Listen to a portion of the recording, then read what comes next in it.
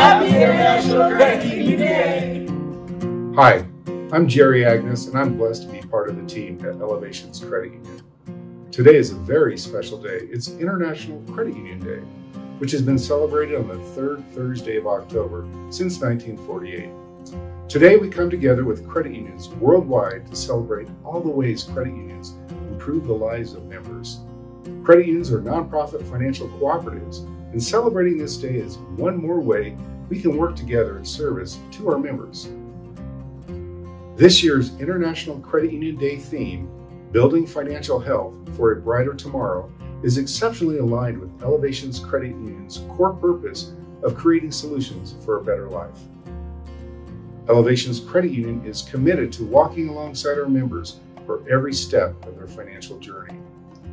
We support financial education and advocacy programs in our local schools and provide hundreds of free seminars each year. We do all of this because we know how empowering this knowledge is and the tremendous impact it has for our community.